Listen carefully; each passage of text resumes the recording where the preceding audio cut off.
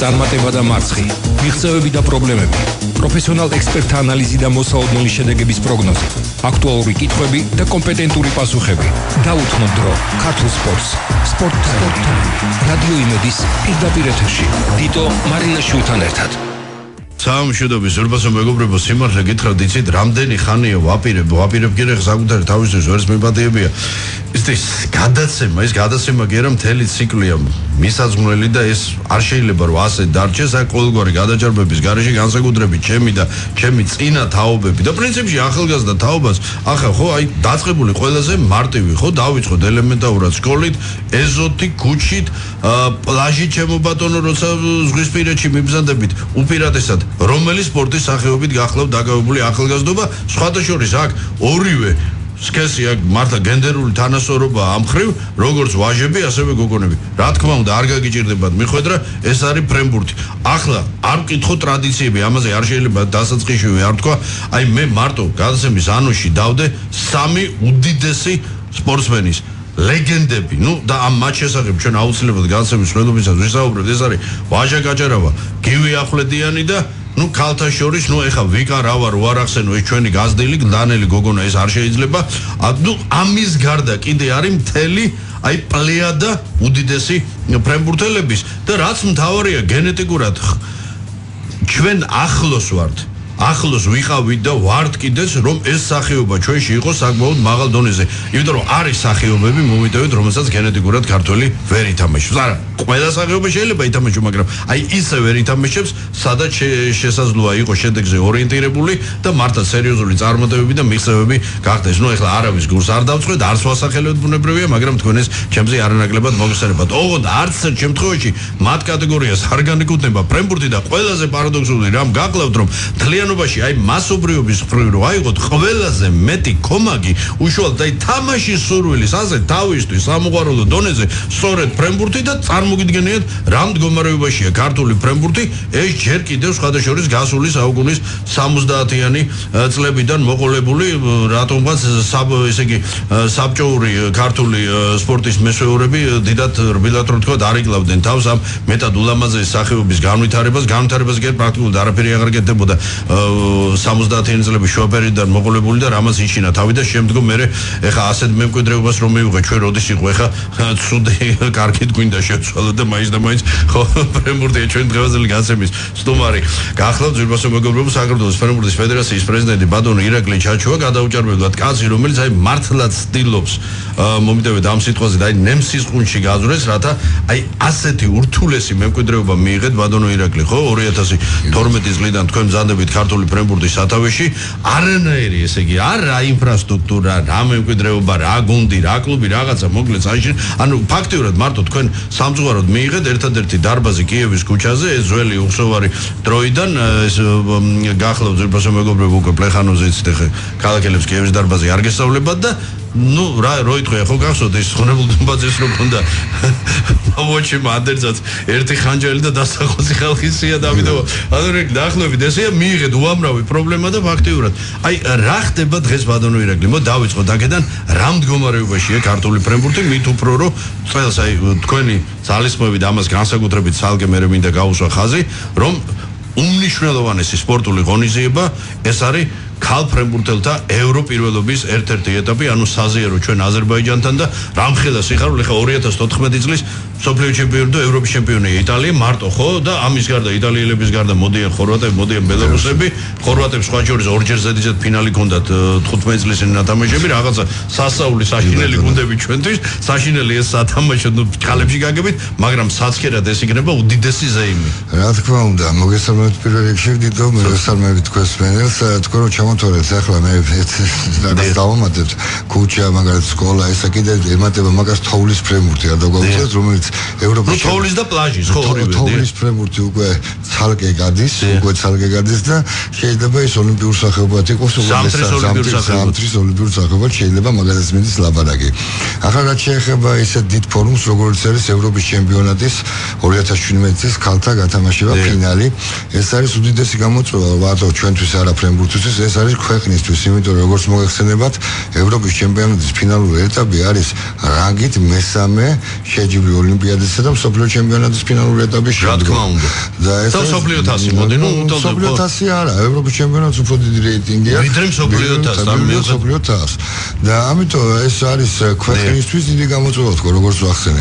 ეხლა რაც შეეხება ისტორიას ამ შეჯიბრების აღების, ესე იგი აზერბაიჯანს უნდა რომ აზერბაიჯანი დიდი ხანია ტრადიციულად უკვე იღებს მონაწილეობას ევროთასების გათამაშებას, არა, ბუმია, აზერბაიჯანში ნამდვილი ბუმია, და ისინი მიდიოდნენ, მაგრამ ჩემი თხოვნა იყო, რომ ერთი ტური მაინც გადაეშადარებულო საქართველოს, რომელსაც მაგალითად ევროპის ფედერაცია პირდაპირ წამოვიდეთ, თუ ორივე იქნებით ერთად, უფრო მარტივი იქნება ჩვენთვის გადაწყვეტილების მიღება და კონკურენტები უფრო ჩამოხშორდებოდნენ და მართლაც ასე მოხდა, ეს იყო 2013 წელს დაიწყო ამაზე ლაპარაკი და 2014 წელს უკვე მივიღეთ ჩვენ უფლება ჩატარების და პერმანენტულად ისინი ჩამოდიან ვიზიტები ჩვენთან, ამოწმენ ინფრასტრუქტურას ახალი სპორტის ოლიმპიური სასახლეში უნდა ჩატარდეს ეს თამაშები, ის მათმა ის ეს დარბაზი მოიწონეს კიდე კონსულტაციებს იქიდან ისე ჩამოდის. მაბედით, ანუ დიდი ნამდვილი ჩვენ დიდი სპორტის სასახლე თუ ნახეს თუ? კი, ნახეს, მაგრამ აქ არის ერთი რაღაც რა, მათ ეშინიათ მაყურებლის არმოს. აა, გასაგები, ანუ ეს ფაქტორი კინოზე გადაერთოს დი. მე ვერ უხსნიდი მაგალითად რომ საქართველოში ფრენბურთში როდესაც ჩატარდა 85 წელს როდესაც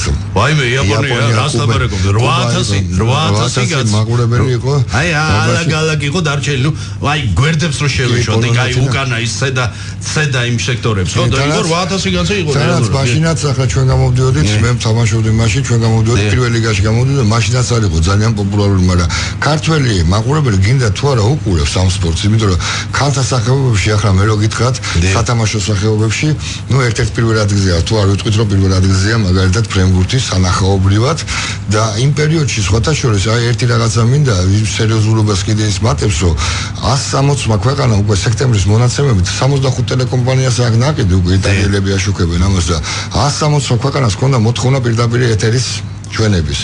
ეს უკვე რამხელა რაღაცა იმ შეეთ ქვეყნისთვის, რომელსაც მაგალითად ისეთ ქვეყნებში იწავა ტრანსლაცია, რომელიც საქართველოს შესახებ არაფერი არ იცია და რა თქმა უნდა, ეს დიდი რეკლამაა, თვითონ ქვეყნის რეკლამაცაა. ხოლო რაც შეეხება ჩვენ მზადებას, ჩვენ მზადებით უკვე ორი წელიწადია აქტიურად ვემზადებით ის გოგონები, რომელსაც მიიღეს მაგალითად მონაწილეობა ოლიმპიურ ფესტივალში, ის გოგონები არიან სამი გოგონა, ოთხი გოგონა არის საზღვარგარეთ გასული, რომლებიც იქ დანარჩენი კიდე ვინც არიან, ისინი რეგულარულად ვარჯიშობენ ერთად თითქმის და ისინი იღებენ მონაწილეობას ასევე აზერბაიჯანის ჩემპიონატში, როგორც საქართველოს ჩემპიონატში რა თქმა უნდა არის, მაგრამ ეს ნაკრები, რა ვიცი არის დარჩენილი, იღებენ აზერბაიჯანის ჩემპიონატში იმ მონაწილეობას. 4 ლეგიონერის გარდა. იმ 4 ლეგიონერის გარდა, კი 4 ლეგიონერი და ახლა კიდე ორი ნუ მთავარი ის ბირთვი. ნუ ანუ თავარი ბადონერგლი გოსავთ ესე იგი ნაკრების სრული შემადგენლობა თქვა სადარგო მოთამაშეების შატვი თქვენ რას ბძანებთ გამოდის რომ იღებს სათანადო დატვირთვას და იღებს სათანადო თქმა რა აი ეს არის ყველაზე მნიშვნელოვანი ჩვენთვის ეხა არაერთ სახეობაში მოხსენებად ნიჭიერი სპორტსმენების დეფიციტი. ხარისხობრივი ზრდის მხრივ იწყება სწორედ უქონლობის ანუ სათამაშო როცა დეფიციტი იქნება აი თქვენ გამოსცეს დიდებულად გაგონიათ ჩამოყალიბებული ხარ. იქით ლეგიონერები სერიოზულ გუნდებში ნუ ნორმალურ გუნდებში აქეთ აზერბაიჯანის ჩემპიონატი რომელიც თავისი ხარისხით ზურბასო მეგობრებო ბევრს არ ჩამოუვარდება უკვე ევროპაში ეხლა ეთანხმებით.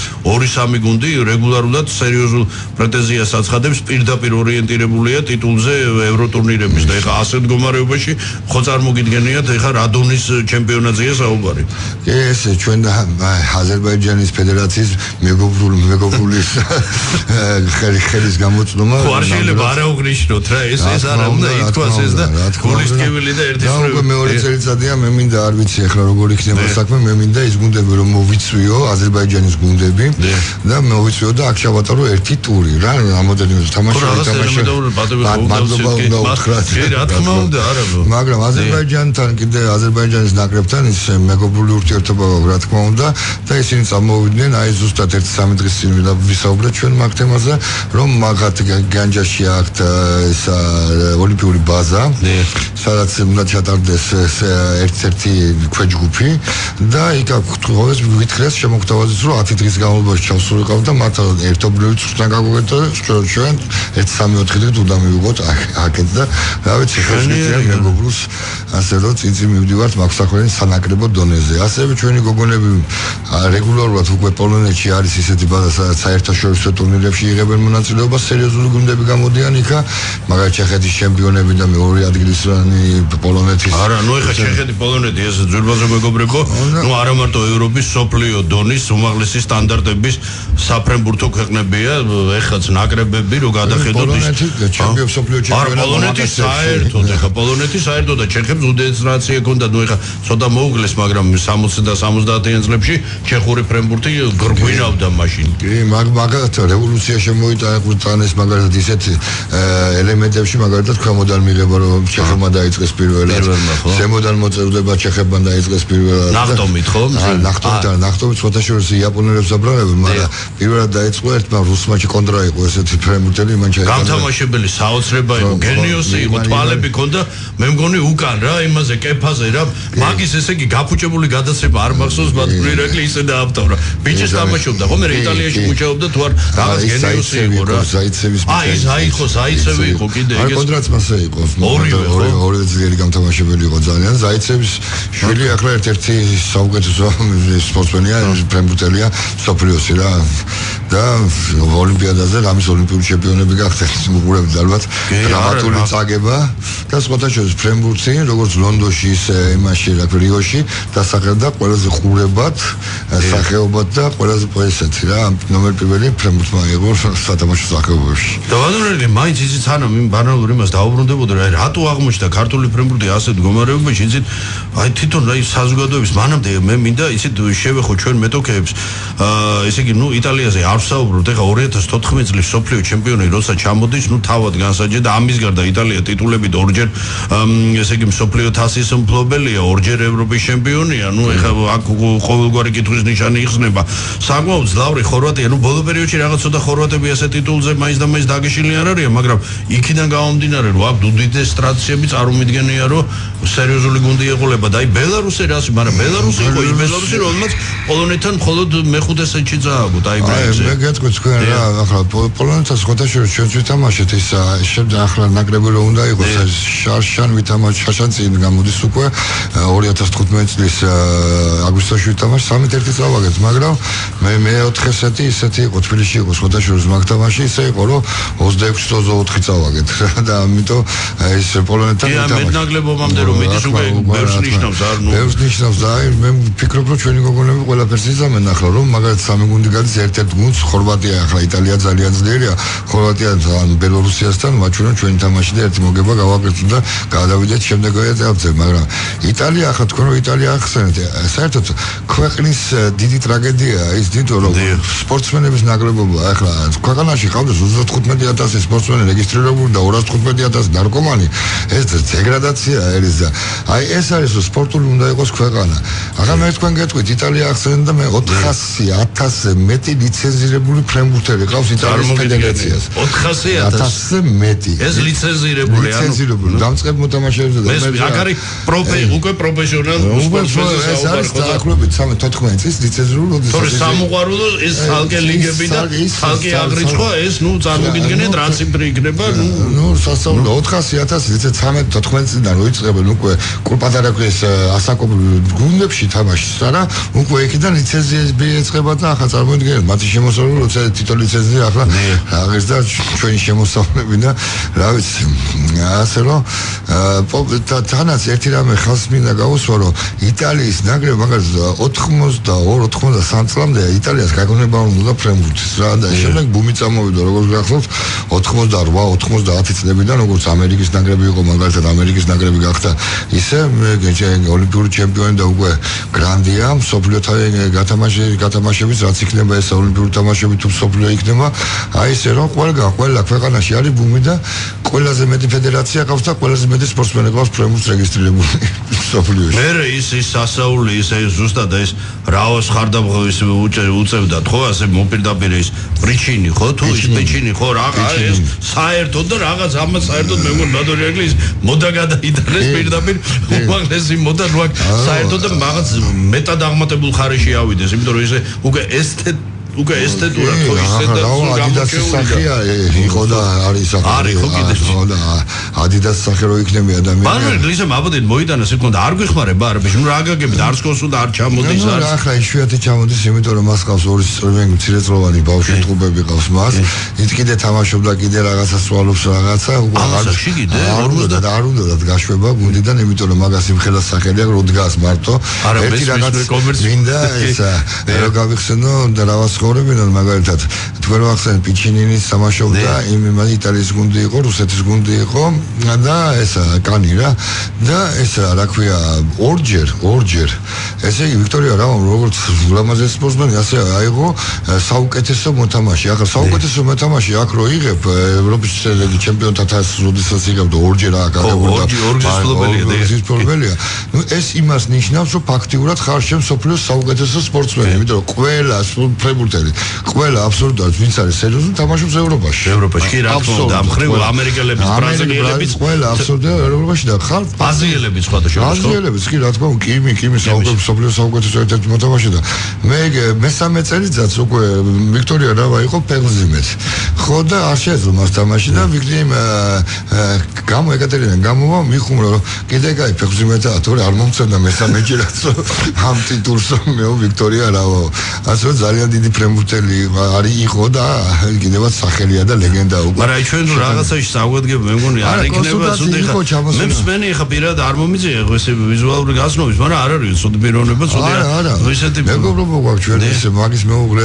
წიმეს თამაშობდა მაშინ მეუღლე ქართული ყავს როზოგოს სხვადასხვა საშა ჯაოშვილი ხო თუ ალექსანდრე ჯიოშვილი ჯიოშვილი გასროდი ჯიოშვილი რომელიც მე თამაშობდა საქართველოს ნაკრებში აქ მაგის თამაშები ერთ-ერთი ლიდერი იყო კაპიტანი იყო საქართველოს ნაკრების ჩვენ მე თამაში დაგაშვედებთ სპორტაშოს ძალიან დრამატულად წავაგეთ. შვედეთის ნაკრებაში უბრალოდ სპორტაში იყო. და ეს ну ისინი ძალიან იშვიათად ჩამოდიან თვითონ საქართველოს რო ჩამოდიან შანსი არსებობს რო არ მოვიდნენ ბავშვებთან რაღაც არა აუხსნა და ჩვენ თხოვნა ხოლმე რომ მოვიდნენ მოთამაშეებთან ხელი შეახო მოთამაშეებმა ამ ხელა სპორტსმენს არა მართლა საოცრება რა ბატონო დაუბრუნდეთ ესე იგი ევროპის პირველობის ფინალურ ეტაპს ნუ სამზადისში ჩვენ უშუალოდ თუ რა პრობლემებია ნუ აი ხა გასემის მეორე ნაწილში უფრო რცლად ვისაუბრებთ მაშასე სამი მეტოქე იტალია ხორვატია ბელარუსი თუ არსები ფორმატი უცვლელია ანუ ერთწრიანი შეჯიბრება და აქ გამარჯვებული ჯგუფის პირდაპირ გადის მეოთხედ ფინალში ნუ აქ ალბათ იტალიის კონკურენცია ნუ და აი აქ ბრძოლა წავა იმაზე რომ მეორე მესამე ადგილოსანი ადგილოსნები ხვდებიან პლეიოფში ნუ თუ მოხდა აი გვაქვს რამე მოდი ასე ვთქვა პირდაპირ რა ვიცი ახლა მოდი სირე სასაული უწოდოთ შანსი იმის რომ მოვიგოთ ერთი შეხვედრა და გავიდეთ პლეიოფში ერთი შეხვედრა ახლა როგორ არის?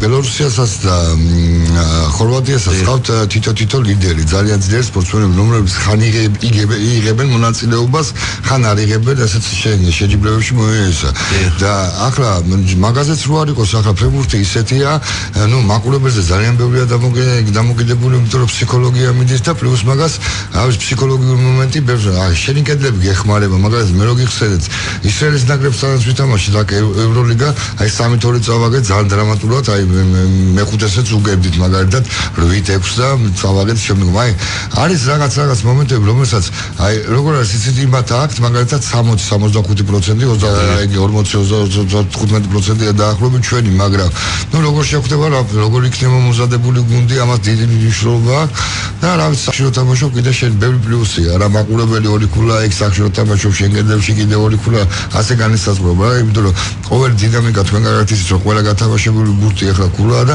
დინამიკა ფსიქოლოგია ძალიან ფაქტორი ამაშეცვალა ძალიან. ისე პრინციპში კარგის არის ხო ბატონო რო გავხსენდა ჩვენი ახალგაზრდობის ძალიან მომქაც ველი? და იყო შეხვედრები რომელიც რამის 5 საათი გრძელდებოდა ეხლა გადასვლები გადასვლები გადასვლები ქულა არ იღებოდა ხო წარმოიდგინე მაგ დათამაში მაგალითად 6 საათ ნახევარი მაგ დათამაშე თუ დავუმატებთ იმას 40 წუთი მაგალითად ეგ არის გახურება. აწარმოიო 4 საათ ნახევარი გეხარ ნუ ნუ ახლა არ ვიცი ჩვენი მოგონები არიან ას мотивация კარგი აქვს და რა ვიცი მომზადებასთან მომზადებელი ეტაპი კიდე ისე გვაქვს ჩვენ დაგეგმილი და ისე გვაქვს შერჩეული რომ პიკზე უნდა იყოს იმ მდგომარეობით. ბანონელი მე ერთი წამით არ მეპარება ეჭვი რომ აი სხვა შორის ის შიში რაც ქონდა ჩვენ მეგობრებს და მე აზერბაიჯანის მეზობლებს რომ ახლა 3000 სიტებს ხო და არა წარმოუდგენელია რომ არ შეიფსოს მე ამ აზრის დაშვება წარმოიდა პირიქით მე მე თქვენ აზრზე ვარ პირადად მიმაჩნია რომ სპორტის სასახლეში რო ჩატარებული ხო შეიძლება ახლა სრულ ანშლაგისთვის ვერ მიგვეღწია მაგრამ 7-8000 კაცი ტრიბუნაზე ნამდვილად გარანტირებული გექნებოდა ახლა ძვირფასო მეგობრებო ჩვენს გადაცემაში ტრადიციული სარეკლამო ჭრა და ბატონ ირაკლი ჩაშუასთან საქართველოს ფრენბურთის ფედერაციის პრეზიდენტი წარსულში ცნობილი ქართველი სპორტსმენი და ფრენბურთელი აი სულ რამდენიმე წუთში ვისაუბრებთ ქართული ფრენბურთის სადაგ დღეებზე. სპორტ ტაიმი რადიო იმედის პირდაპირ ეთერში. დიტო მარინა შულთან ერთად ვაგზელებ ძირბაზო მეგობრებო ჩვენს გადაცემას კიდევ ერთხელ შეასწრებთ რომ ჩვენი დღევანდელი გადაცემის სტუმარი გახლავ წარსულში ცნობილი ფრენბურთელი ამჟამად კი საქართველოს ფრენბურთის ფედერაციის პრეზიდენტი ბატონი ირაკლი ჩაჩუა და აი კარს მომდგარი ევროპირველობა ჩვენთვის ყველაზე საშური მნიშვნელოვანი საშური არა მარტო იმ გაგებით რომ უბრალოდ რაღაც კონკრეტული ეს არის არა მარტო ფრენბურთის პოპულარიზაცია. კიდევ ერთხელ უნდა შევახსენოთ საზოგადოებას ასევე ძლიერ ამა ქვეყნისას რომ საქართველოსი ფრენბურთს ოდიდგანვე ისტორიულად ისე ოფიციალურად ოფიციალურად ბატონი რეგლი 90 წელი შესრულდა ხო? რაც ჩვენში დაინერგა ფრენბურთი თუმცა მას უფრო დიდი და ვრცელი ისტორია აქვს და აი არ შეიძლება რამდენიმე დეტალი თქვენ ნებართვით უბრალოდ საზოგადოებას არ შევახსენო და ასევე ბიზნეს სექტორს თუ რაოდენ პერსპექტიული და მონგებიანი საზოგადოება 60-იანი წლების დასაწყისში როცა ეს სხვა შორის მარტო ეკრას ვასილი პავლოვიჩზე მოდიოდა ყველაფერი ბომბი იყო ნამდვილად იყო. ხელბურთი კალათბურთი წყალბურთი ყველა და ფრენბურთი მათ შორის ეხლა ბურევესნიკის ბაზაზე შექმნილმა მაშინდელმა ეგრეთ წოდებულ საბჭოთა კავშირის სტუდენტთა ნაკრებმა სოფლი უნივერსიტეტმა მოიგო და თბილისის ბურევესნიკის ბაზაზე. იმავე წელს საბჭოთა კავშირის ხალხთა სპარტაკიადაზე რომელიც საბჭოთა კავშირის ჩემპიონატზე გაცილებით უფრო წარმომადგენლობითი და პრესტიჟული იყო ბრინჯაოს მედლები მესამე ადგილი.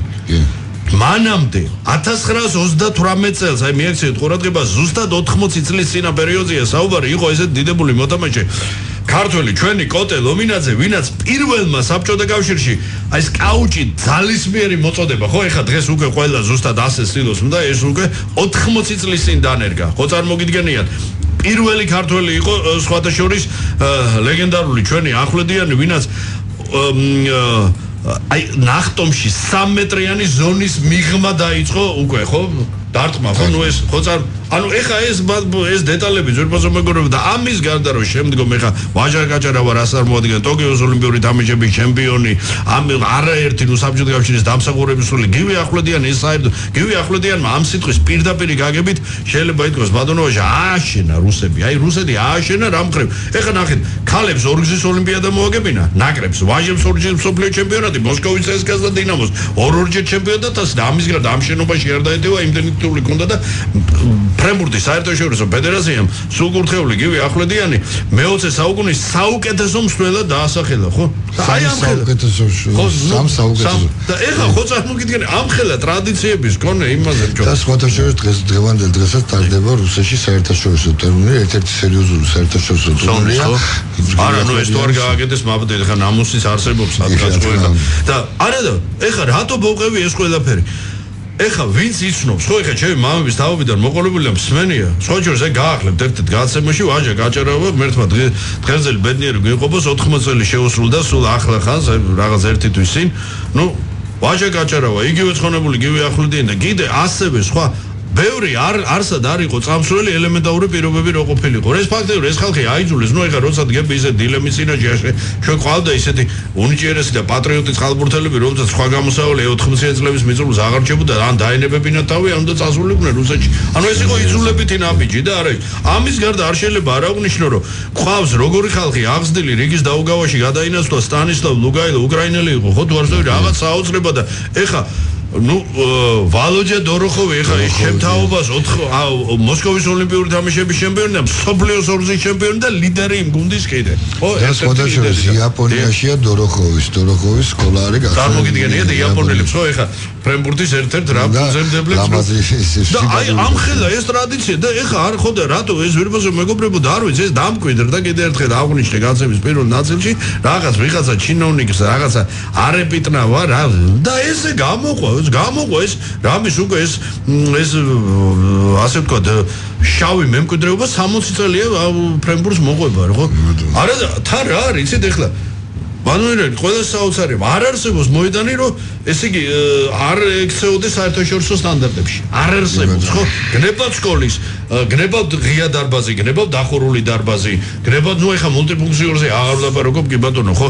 ამის გარდა აღნიშნო სახეობა სადაც გოგონ არა ნაკლება ეს გენდერული პრინციპით რომ ესე ქართული გოგონები სულ მოწადინებული ხარ რამდენად ხო და ვარვერაკლი აი ამის ფონზე რატომ უნდა იყოს ასეთი მდგომარეობა? რატო რატო აი რა სადღაც აი სად არის ზაღლისთავი დამარხულია ნუ მე თქვენ გეტყვით აი მე თამაშობდი მაგალითად 93 წლიდან უკვე თამაშობ პრემიერ საქართველოს ნაკრებში ვარ და ვირიცხებოდი 95 წლიდან უკვე დიდ საქართველოს ნაკრებში რომელიც იგავდა მონაწილეობას პირველ ლიგებში. აი მაგ იმ დროიდან უკვე საქართველოსში ჩამოდის ვაჟა კაჯარავა რომელიც რომელიც ისახავს უმაღლეს ლიგაში გადასვლას. აი ვერ მოხდა ესე რომ ჩვენი ახალგაზრდა გუნდი გუნდი მაგალითად როდესაც დავიწყეთ თამაში 90 წლის 9 აპრილი იყო კარგად მოგეხსენება თქვენ ჩვენ დავანებეთ 91 წლის 9 აპრილს როდესაც საქართველოს გამოაცხადა. ესე დავანებეთ მაშინ ვიყავ 22-23 წლის ბიჭები რომლებიც მაშინ იწყებ თამაში და მის შემდგომ არ იყო ყურადღება. მაგალითად მაშინ იყო ცხონებული კახი ასათიანი იყო სპორტ კომიტეტის თავმჯდომარე და რაღაცა. ნუ არ იყო ის თანხები რომ ჩვენ წავსულიყავ და მაშინ დაეწოდა ჯარიმა არა და ზარდი გუნდი იყო ხო ბატონო? 22-23 წლის და თითქმის ყველანი ნათამაშები ვიყავ აი საბჭოთა კავშირის ნაკრების კანდიდატები ან პრიზიორები აი ყველა აბსოლუტურად პირველი ლიგის მოგება რეალურად ორეული ორეული შეიძლება აი ხა თუ იგი როგორ არა აი პირველი ლიგის მაგალითად ხელშეწყობის პირობებში იქნებოდა რომ ეს გუნდი დაახლოებით 2 წელიწადში იქნებოდა უკვე ელიტაში პირველი ლიგის და მაშინ 12 გუნდი იყო მაშინ უმაღლეს ლიგაში იმაში თესაბჭოთა კავშირში და უმაღლეს ლიგაში. ახლა როდესაც რუსეთს აქვს მარტო ერთი 4 ლიგა სუპერლიგა და ესენი და ნუ წარმოიდგინეთ 6 გუნდი იყო უმაღლეს ბუნდესლიგაში მარტო უკრაინის გუნდი.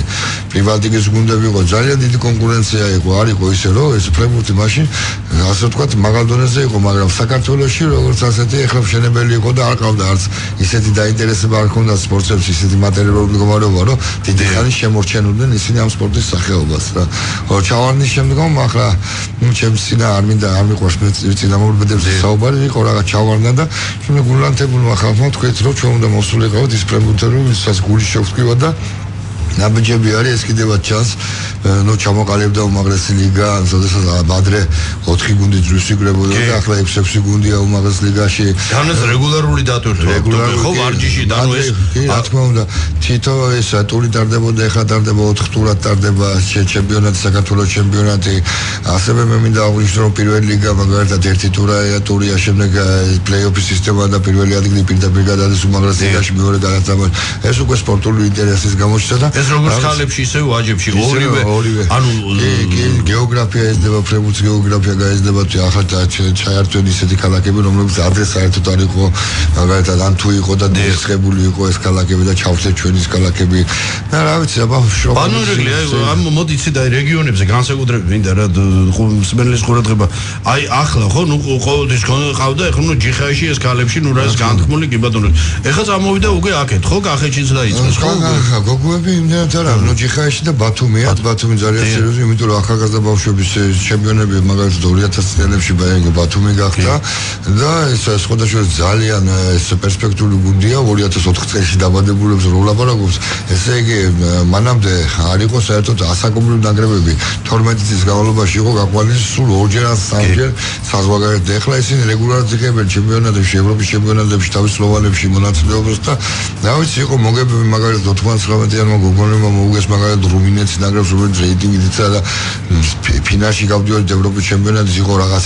ზედა თვითონ არ დაიჯერეს თორე ბელგიის სუსტ გუნდა რუმინეთზე ორი სუსტ სამით ერთი წავაგეთ ისეთი დასანანი მარცხი იყო ეს რომ რაღაც ასწავლე თორე ევროპის ჩემპიონატის მე ფსიქოლოგიური წნეხის შეშმოიცნე იმიტომ რომ გამოუცდელობა იმიტომ რომ და არის რა მაინც თამაში როგორც თქვენ ახსენეთ და გამოცდილება ძალიან ბევრს ნიშნავს იმიტომ რომ ევროპა ერთ ერთმანეთში მოძრაობს ძალიან მარტივად გადადიან იქ ავტობუსებით გააქვთ მიმოსვლა და აქედან რო ჩახვიდე და სერიოზულ ტურნირებში მიიღო მონაწილეობა. რთულია ხოლმე ჩვენთან კავკასიაში კიდე სომხეთი ავიღოთ კიდე აზერბაიჯანი.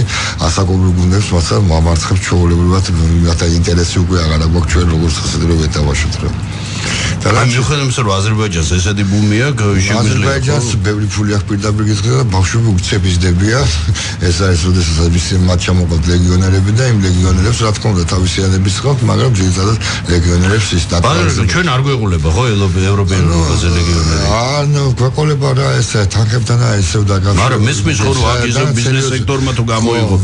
ხელი ძურბასო მეგობრებო ეს არის ჩვეულებრივი პრაქტიკა ისეთ საშუალო და ცოტა უფრო დაბალი რანგის ნუ მე მხედველობაში მაგ უფრო ქვეყნის ეკონომიკური ნაწილი რომ აი ბიზნესი იღებს თავის თავზე კონკრეტულად შეუძლია მავან ერთ ბიზნეს აღმოწარმოებულს ერთი სპორტსმენის ასე ვთქვა დელეგირება და ხარჯები შეინახო ლეგიონერის ჩვეულებრივი ის არის მაგრამ ჩვენ და რაღაცა ვერ ინერგება ის რა რაღაცა არ არ უნდა ამ ხალხს ნუ ის და სულ არ ეხება ანონირეგლისე მაბადე არ თემას არ უყე უბრალოდ სულ არ სახელმწიფოს შემყურე გასაგები რომ არის ძალიან ბევრი პრობლემები გასაგები რომ სახელმწიფო სხვაგვარი დამოკიდებულება და მიდგომა საჭირო ორჯერ ორის დონეზე აუცილებლად უნდა შეიცვალოს თვითონ სპორტის კანონი რომელიც გაცილებით უფრო ქმედის მობილურს გახდის და იმ მაგრამ გარდა ამისა თუ ბიზნეს სექტორი არ ჩაერთო მარტო პარალელურად მეცმონეს საგანონმდებლო დონეზე განხორციელებული აქტები ჩვენ შორს ვერ წავართ. ბადონერეგლი იმიტომ რომ ვერ შევძლებთ რა ამის მოძიებას რა. და ვერც ეხა ვერ ეხა დამოკლის מחულებით ვერ დავაკიდებით ისედაც ამ გასაცოდავებულ ბიუჯეტს. როცა მით უმეტეს ეხა ხო წარმოგიდგენია ჩვენ ერთდაურ სახეობაზე არ საუბრობ ჩვენ საუბრობთ აი მარტო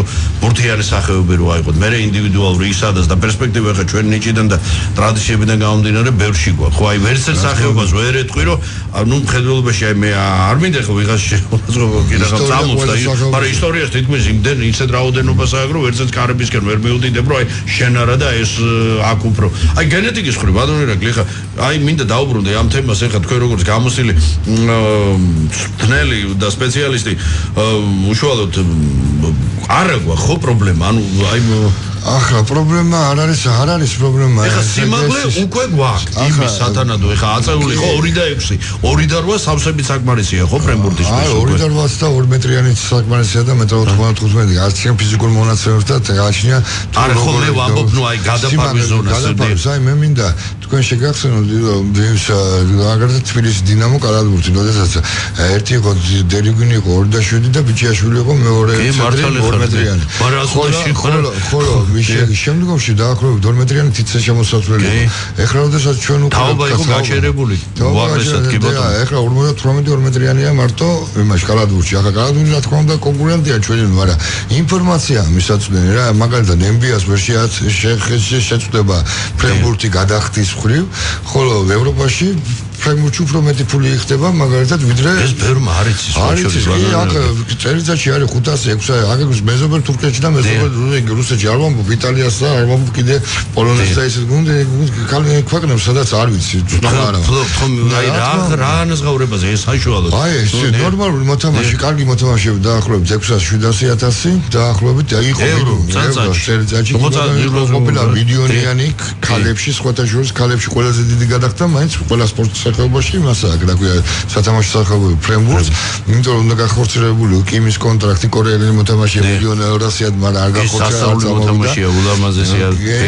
ხო და დანარჩენ შემთხვევაში კიდე როგორ არის იცით საშუალო საშუალოზე მაგარი დონის მოთამაშეები, რომლებიც არიან ახლა ბირთვის საერთოდ იმას, ნუ ერთი ესეთი ვარსკვლავები არიან ამფასიანი, ხო დანარჩენები ნუ 300-400 ევრო, მაგალითად არის ჩვეულებრივი ისა ხელფასი, კარგი ხელფასი, კარგი მოთამაშეების თუ არიან ის წარმოგიდგენია. თან ამოდროულად ბანონერეკლი მე მგონი არც ერთ ბურთის ესე იგი ბურთიან სათამაშო სახეობაში არ ხდება ის რომ გეოგრაფიული სივრცე მხედველობაში მაგ ტიტულზე ორიენტირებული გუნდების არანორმალურად მზარდია რა. ხო წარმოვიდა ეხლა ფრანგები გამოჩნდნენ რომელიც არ ჩანდნენ. ხო და აქამდე ესე იგი ნუ სლავეთი აღნიშნეთ ეს ეხლა რუსეთი პოლონეთი ხო გერმანია საერთოდ. და არ თურქეთმა როდის დაიწყო ახლა მე თამაშობდი მაშინ მაქროს სპორტსმენი ვიყავი როდესაც ჩამოვიდა თურქეთის ბრინჯაოს მედალოსანი გუნდი და მეთამაშეთ ქუთაისის მაშინ ქუთაისის გუნდში თამაშობდი იქ ავიყავ და ქუთაისში იყო შემოსული ძალიან არ მოგვიგოთო რა. და ორი თამაშობდი საქართველოს ნაკრები და ჩვენ მოვუგეთ მათ და ახლა წარმოიდგინეთ დღესდღეობით თურქეთის დონე რა არის და რა შემოსული სუპერლიგა თურქეთის დღეს. აა მე ვიყავ სუპერლიგა სამი წელიწადი და ძალიან კარგად ვიცი. ძიროს მეგორო ისე აი ისე ისეთი ტრივიალური შეკითხვა ხო? აი რამდენ ხან შეიძლება ვტკეპნოთ ესე და მხოლოდ ეს ვილაპარაკოთ და ვიხსენოთ ვაკეთოთ პარალელები და რატო იცით იმიტომ რომ ეს ხალხი ვითარდება ბრალდება, ყველაფერს აკეთებს და ჩვენთან ყველაფერი კეთდება, რომ არაფერი არ გაკეთდეს. ვინ რომ ბანონერგლი ისეთ არის ერთი საოცარი რა, მე არ მიკვირს, როცა იმ არასახსენებელ რეჟიმს კონდა ეს დევიზი, რომ იცით რა მაჩვენეთ შედეგი და მე რე კი ბატონო მოგხედავთ მოგს გას მაგრამ მთელი უბედურება რა არის იცით ბანონერგლი ეს ახლა არ მინდა იცით მე ისე რაღაცა და პოლიტიკურ რელსებზე გადავედი მესმის იგივე დღეს მთელი უბედურება იცით არა ეგება მაშინ ვიღაცა მიცი და მე ყველა გადაცემაში მინდა იმ ბატონს მიმართო და საკმაოდ მაღალჩინოსან სპორტულ მოღვაწეზეა საუბარი იმაზე და თარმდების პირზე უკაცრავა და მოღვაწე სხვა თარმდების პირზე რომ მაშინ ეგება გაგვანათლო და აგვიხსნათ რა ბატონო ჩემო ერთი როგორ შეიძლება აი ამ მდგომარეობით აი ასეთ იმით მიაღწიო შედეგი. რა ეხა რაღაც ეთყობა რაღაც საიდუმლოს ფლობს და ჩვენ მაბადეთ ეს უბირი ხალხი საერთოდ იგი ქვართ რაღაც სტატუსფეროში ეთყობა გამგზავრებული და რაღაცა ეს ბატონი და ეს თავისი თანა შემწე რაღაც ერთი აგვიხსენი და საინტერესოა რა. როგორ მაინტერესებს იცი როცა ბიუჯეტი გაქვს მილიონ ლარამდე როგორ უნდა მოუგე 50 მილიონი ევროს ბიუჯეტის კონე მე აღარ ვლაპარაკობ ინფრასტრუქტურაზე.